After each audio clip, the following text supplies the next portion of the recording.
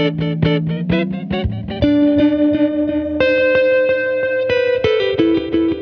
it going? This is Brian from B's Music Shop, and I'm here at the 2024 Anaheim NAMM show with Tom, all the way from Latvia. Game Changer Audio, probably.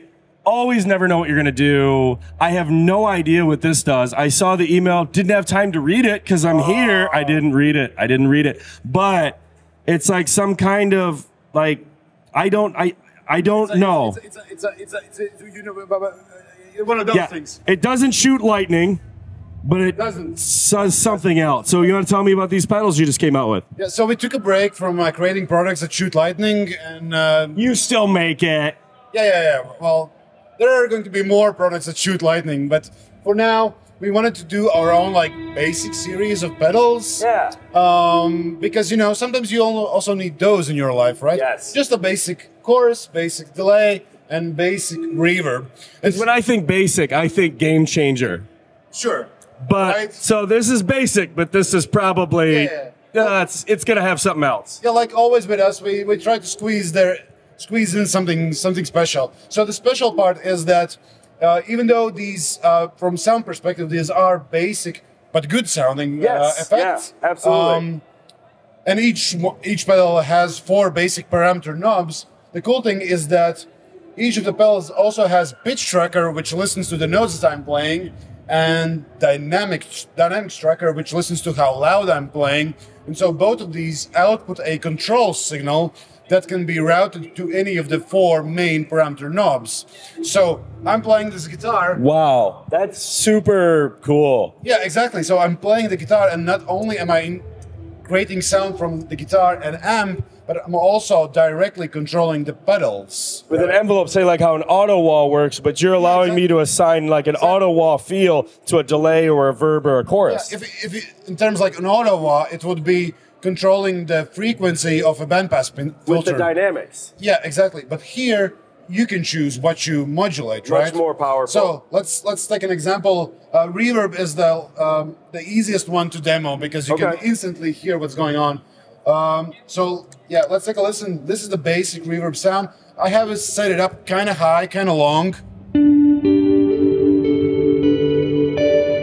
Big and lush reverb, right? Yeah. Oh yeah, and these are stereo in, stereo out, so you should be hearing stereo reverb now. Yes, we're getting it. And so I have used this patch cable here, and, and the patch cables are included in the box, to route the, the dynamics output to the level knob.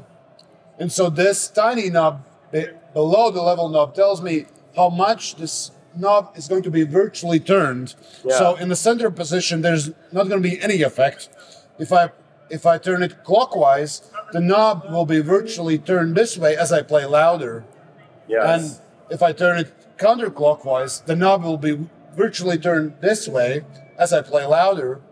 And so now I can press the second foot switch to engage the modulation. So now this dynamics is sending an output to this knob and listen what it happens when I play louder.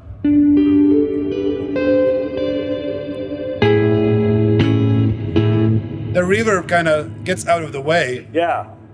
And now back to soft playing.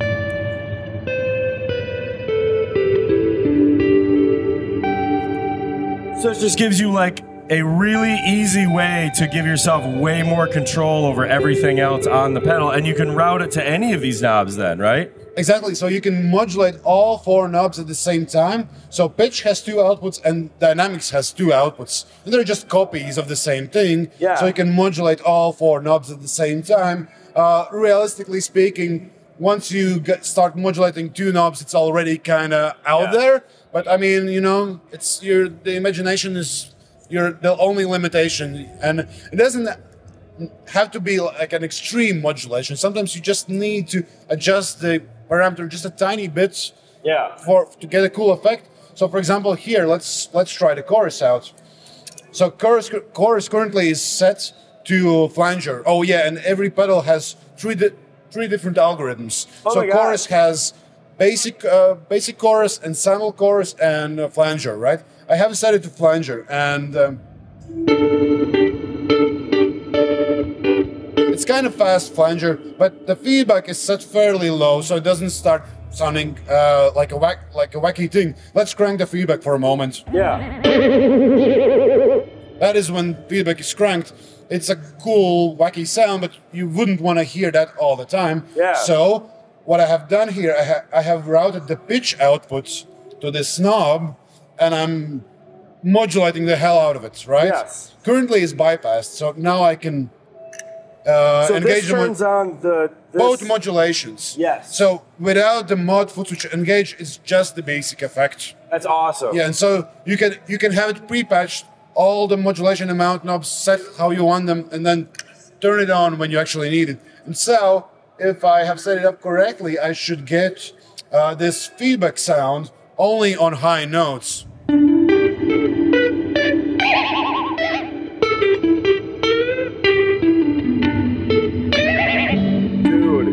And I can set the center pitch above which I want to get that modulation. So currently I have set it to this E E note.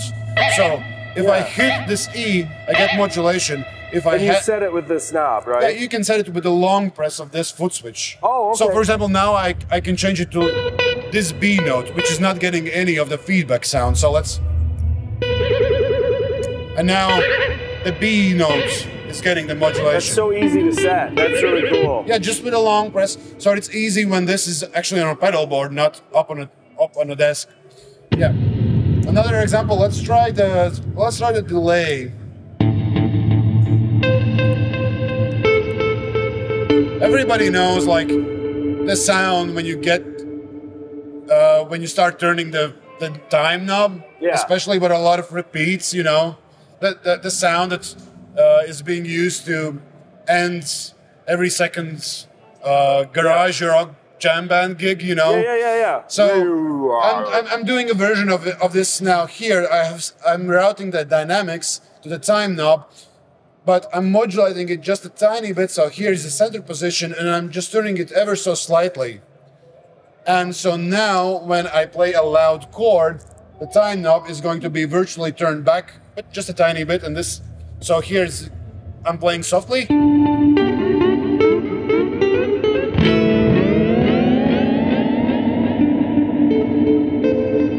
Let's turn off the reverb for a second there. That's so cool. Now the modulation is happening too quickly for me. Yeah. So I have to really be careful so I can dial back the dynamics knob. And that should tame it. Yeah, so now I can easily play with a steady tempo of the delay. And when I'm ready for that wacky sound, I just play a really loud chord. That's So- so, that's so cool. So both the pitch and dynamics can be then even more like fine tunes to match the output from the guitar. Some guitars will have a lot of sustain, some guitars will have not that much of sustain. So you can make these work with what you're playing and your actual playing style. That's so cool. What does the sum and the alt do here? Sorry. So this- sum and alt are two different versions of how the modulation happens. And so the sum mode is the one that I was explaining before. Yeah. Is that this is the center position. okay, okay. And so we're modulating away from the center position. Okay. And the alternative mode is that the, these small knobs uh, below the main knobs become this, like like another preset. that makes total sense. Sorry, So that didn't when- click with me. When but I turn that's- on the that- modulation, we're jumping to this value, and then when we're modulating, we're returning to the center value. that's so smart. You're that you, yeah, that is cool. Actually, I think you're the first one who actually asked about that. Kudos. I uh, I'm not I'm not quick, so I got to ask a lot of questions. Cool, cool, cool. That, it is cool, and it, and it gives you two different ways to uh, decide how this works. I mean, it, you're basically allowing people. There's a lot of wacky pedals out there, but they're completely pre-designed in the algorithm before you get them. You've sort of pulled, I mean, quite literally pulled the middle routing out and given you control over how how those things go and where. That's so so interesting and cool. You know, like back in the day when you didn't have like this wide variety of pedals available, you pretty much had to live with like Bo- Boss, Maxon, and that kind of stuff. And so you could you you were able to experiment by you know switching up the signal routing, like which pedal comes first, Yeah. and do that kind of sort of try to make interesting things with minimal gear, right? Yeah. And so this is not in the, not minimal in, in the same way as Boss pedals are minimal, but it's it's has that kind of attitude, right? Instead of creating a new wacky sound, we're just taking basic sounds and combining them with unique interfaces. You're giving you like a cool patch bay that Yeah. allows you to kind of move it around how you want. And so you're still experimenting with, with cables, right? So now maybe instead of experimenting with a signal pad, you're experimenting with a, a control signal pad within each pedal. But you can also cross modulate them. And cross modulation comes in handy when you, you have more, when you have, first of all, more, So more cross- than one mod pedal. Wait, so cross modulation, so I, I can take this So, pedal yeah. and control this So, pedal. yeah, so if you take a longer cable, like this one right here, you could go from this Oh, you're in this. Yeah, from this to here, right? Yeah. And so this is useful when you have more than one mod pedal, first of all, and you have pedals in between. So let's say we had the fuzz pedal right here, right? Yeah. So fuzz destroys dynamics. It sounds awesome, but it destroys dynamics. Yeah. It's just quiet or loud. that makes a ton of sense. So you can so- skip over it. Yeah, Yeah, so dynamics will respond differently in this part of the signal chain than here. So this pedal will hear my clean signal, which is very dynamic. This will hear the dynamics of the fuzz. And there are no dynamics, right? And so I can use the clean dynamics that I have at this part of the signal chain and route them elsewhere. So can I ask another question? Could I set the pitch of this one to one note and the pitch of this one to another note and then route them both to control this one?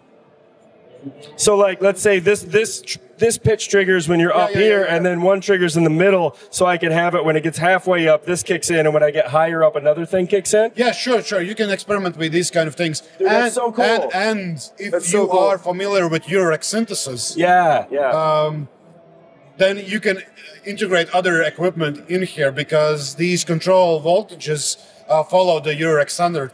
oh wow, so they so- are standard. So if you're if you're volts. if you're yeah. one of the guys that has 200 of these in your Yeah, yeah, house, you're in luck. and for those people, uh, the inputs can take Eurorack level, so you don't need an attenuator between Oh, before man. these, and so you can integrate these in your synth setup without any other external gear. And it's got a MIDI clock in too.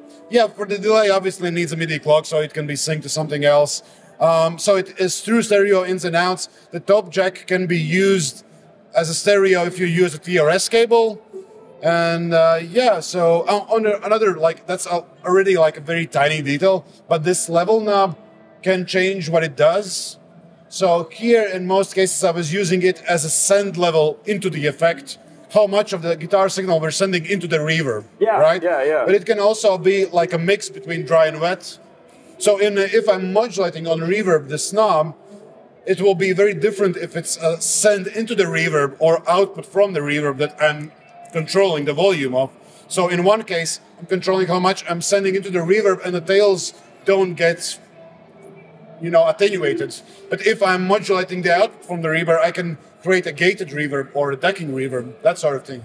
I'm starting to think you're not from Latvia. You're from like 10 years in the future, and this is all just a Still cover. from Latvia, just 10 years in future. Yeah, yeah, This is alright. how Latvia looks in 10 yeah, years. yeah. I think I think it's gonna be like uh, Wakanda if I ever go there, where I'm just gonna be like everything is I'm way farther along. It's so cool, man. You guys always have like the you're always thinking, and it's so cool. Like you also think about the user. It's not like there's so many ways to make things more complicated. Yeah. And you come up with something that is complicated but is very easy to just go with. You know. Yeah, well, once you get, once you understand the idea behind the dynamics and and, and, and Yeah, the pitch tracking, it makes total sense. and once you, once you understand the relationship between the big knobs and small knobs, Yeah. it's easy. And then all the pedals in the series will have the same formula, exactly the same formula. So if you're into like getting into the series, like more than one pedal, once you learn one, you know them all. Collect So- them all. collect them all exactly. And so we're starting with these three pedals right here, but we are going to release more pedals in the future. There's Yeah. also going to be like drive, fuzz units, maybe a pitch shifter, maybe Oh, a, pitch shifter. You gotta do yeah, a pitch maybe a shifter. compressor. You know, it's like whatever whatever Boss and Maxon released back in the 90s, there should be a mod version of it, you know? Yeah. I still to this day want to know everything you guys decided was too crazy to make. That's my that's the, that's in the vault of Game Changer I want to see someday. I want to see some like steam powered vibrato unit that you're just like we can't we got we got to do something else guys. We, we also do we do have bad ideas as well. Yeah, but I bet they're good, like good bad ideas. They're like crazy bad ideas. They're good bad ideas. Yeah, Yeah, yeah. yeah, I, I wish some of the bad ideas were actually, you know, they became products, but you know, Yeah. Maybe someday. Everything Maybe you guys someday. make is so Maybe quality, someday. so fun. Like I say, this is so straightforward and user friendly. And at first glance, you're like, "What is this?" And then you spend two seconds Yeah. with it, and it clicks. It just clicks. Yeah, so even though it is, even though it works with the whole Eurorack modular synthesis stuff, if you're not into that kind of stuff, if you want to kind of keep it simple, you don't have to think about it. You don't have to think about exact voltages or anything like that. You really actually have to think about playing the guitar. Yeah. And that is the cool part. And it kind of also forces you to explore the dynamics of your playing. Yeah. Like things that sometimes you maybe don't think about it. I mean, pros do think about it all the time. Yeah. But like, if you're like average guitar player like myself, this kind of makes you think about your playing dynamics even more than you did until now. Or like say like somebody like me, like like all these modular synths.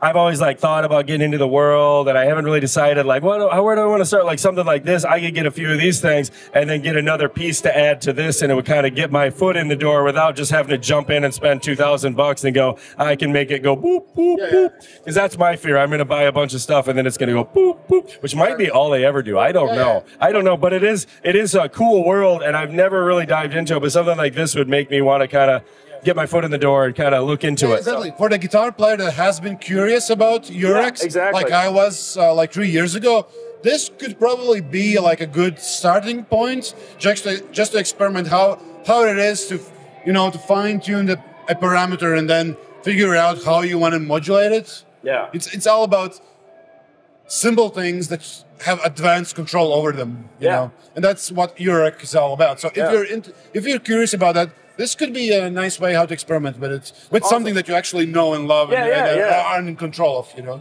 Awesome. Well, hey, Tom, thanks so much for talking to us, man. I always love talking to you about a million things. so it's always nice to see you, Brian. I know. I came up to you yesterday and was like, hey, we're going to do an interview tomorrow. You're like, hi, how you've been? I'm like, oh, you know. friendliest store out there. I have to say that. We, t- we talk tractors. We've talked tractors. Yeah, yeah. Our Oh, families, yeah, yeah, yeah. because I, I I rebuilt all those vintage farmhouses, and then you're like, we have my you know my grandpa has one in Latvia, and we were like sending pictures back and forth. Yeah, Yeah, I love those. I love those pictures of the red tractor. Yeah, yeah. it's awesome. I got weird hobbies. This is, Well, you think do- that you think I- this I is my too. weirdest hobby? Yeah, know. too. Yeah, you're no, you're just an electrical genius, and and uh, you guys No, think of everything. The actual electrical, electrical geniuses. Uh, few of them are here, few of them are home. Yeah. Uh, we have a pretty pretty cool team of engineers who comes up with this stuff. It- you have to. Everything you do is you couldn't not go all the way. Yeah, You know. So awesome. Thank you so much, man. Thanks Thank again, you. Brian. Bye.